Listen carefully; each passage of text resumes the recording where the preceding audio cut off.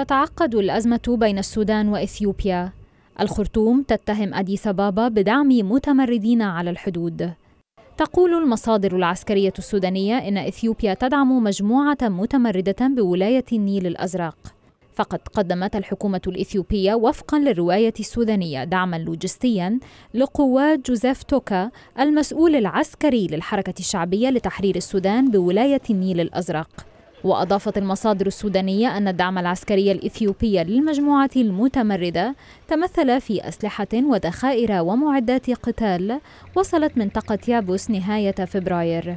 ويتهم السودان إثيوبيا بمحاولة تشتيت جهود الجيش السوداني على الجبهة الشرقية.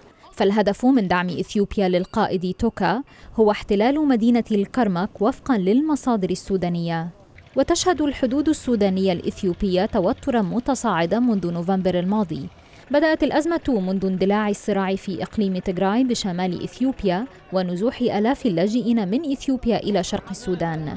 ثم تفاقمت الأزمة بين البلدين عقب عمليات عسكرية للجيش السوداني وانتشاره في منطقة الفجكة هذه المنطقة التي تقع ضمن حدود السودان لكن يعيش فيها مزارعون إثيوبيون منذ أكثر من عشرين عاماً.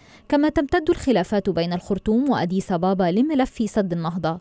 تسببت الخطوات الإثيوبية وتمسكها ببدء مراحل ملء السد في تعميق خلافها مع السودان وهو الموقف الذي تشاركها فيه مصر التي ترى في السد تهديدا مباشرا على مواردها المائية.